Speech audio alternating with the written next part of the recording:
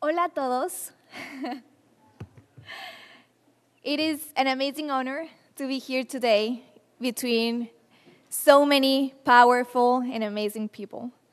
Thank you.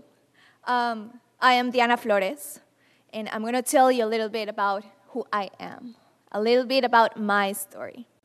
Well, let me start saying that during the past year, my life has completely changed.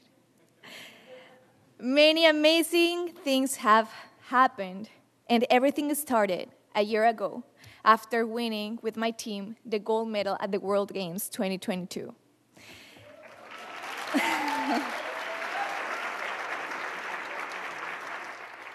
After that, I became global ambassador for the NFL and IFAF.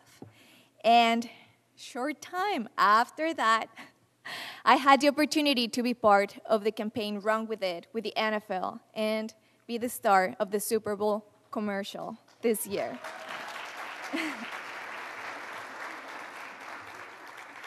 this was an amazing moment I will hold in my heart forever. But to me, one of the most amazing parts of it has been to see the impact it has had. Let me tell you something. This was never my dream. And not because I didn't want it to, but as a little girl, an eight year old girl, born and raised in Mexico City, who fell in love with a very American sport I never even imagined that all of what has happened the Super Bowl commercial, the Pro Bowl, Emmys, Pro Football Hall of Fame, 30 under 30 of Forbes list. I never imagined that could be even a possibility for a girl like me.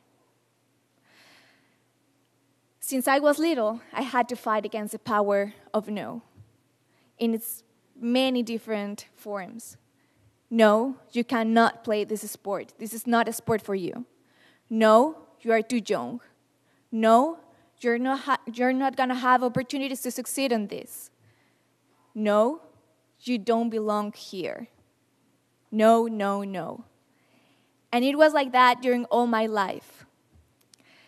Even at my happy place, which was a sport, which was flag football, sometimes the world even made me feel as an intruder like I didn't belong there, that I was living a life that didn't belong to me. It wasn't until after the Super Bowl commercial happened when I realized that I was not the only one feeling that way. That I had the opportunity to have a platform to represent and also a voice to speak for the ones that, like me, were not being seen and heard. I realized that I was not the only one feeling that we were living a life that d- didn't belong to us. And that to me has been one of the most amazing opportunities of life to be able to be able to connect with that people to be able to remind the world how the power of sport can not only empower women, but can also break many kinds of barriers gender barriers and cultural barriers. Um, this moment in time for me made me realize the importance of representation. Representation changed my life. And I know it has the power to change many, many other lives too.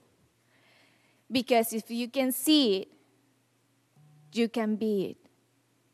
And sometimes, as little girls, as little boys, we only need that light in front of us that light that reminds us that we can dream big, that we deserve those dreams, that we can be part of the big stories out there. I never had that role model to follow. I never had someone to follow that looked like me. I never, never believed that I deserved. So, right now, I think that it's time to rewrite the rules. It is time to break stereotypes for us and for the future generations of little boys and girls that deserve the opportunity to dream bigger than ever, that deserve to feel seen, that deserve to feel that the world cares of them, that deserve to have a voice and feel empowered to use that voice to change their lives and many others. Because greatness starts in the mind. We need to change the mindset of all our generations of Latinos and Latinas leaders. We need to tell them that they deserve to dream big, that they deserve to drive for greatness. Greatness starts in the mind. Greatness grows in unity. And greatness lives in our culture. And by the time that we understand that, I know that we together are going to create a brighter and bigger future for our next generations that are going to feel seen, heard, and empowered to fight for greatness. Thank you.